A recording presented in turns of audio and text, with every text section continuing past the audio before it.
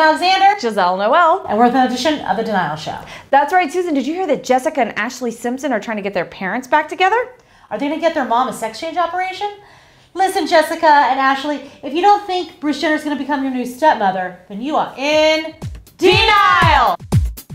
Denial. Denial.